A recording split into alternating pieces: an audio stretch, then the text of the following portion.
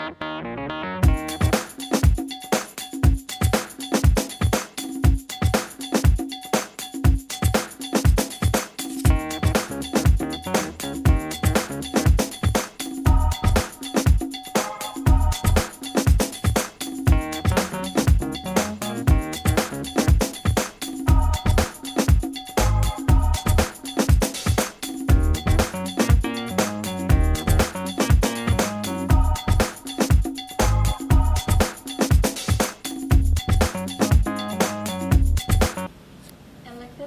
members and council officers will feel better about their involvement in local government when good governance is practiced.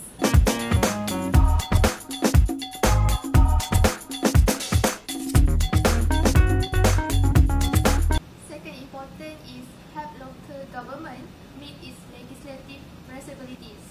If decision making is open and able to follow it by observe, it is- is more likely that local government will comply with the relevant legal requirement.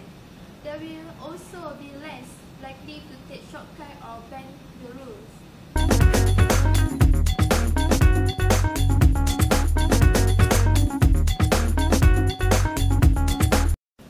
Good governance creates an environment where elected members and council officers ask themselves what is right things to do when making decision. Making choice in an open and transparent way encourage honest consideration of the choice in the governance process.